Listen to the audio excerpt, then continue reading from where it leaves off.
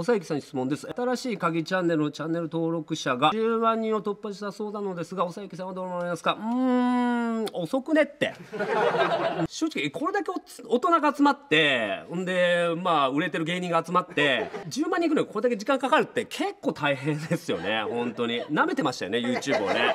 結構サクッといくと思ってたと思うんですけども10万人で意外とこう恥ずかしいですよね結構ね。これだけ大人が集まってねまだ10万人しかいないっていうのが。それだけでも結構 YouTube って難しいっていうとこなんですけれども、まあ、まだ知られてないと思うんですけれどもここであの登録っていうボタンを押すと登録者が1人増えるんですよ。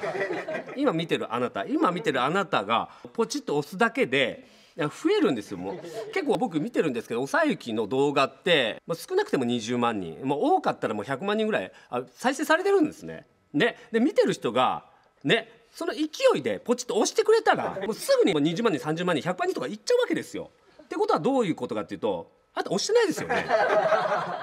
チャンネル登録のボタン押してないですよね。押してください絶対押した方がいいんです。はい、押すともっともっとパフォーマンス上がります。ね。おさゆきのこのコントももっともっと盛り上がっていくと思うんで 絶対チャンネル登録してくださいお願いしますはい今押してください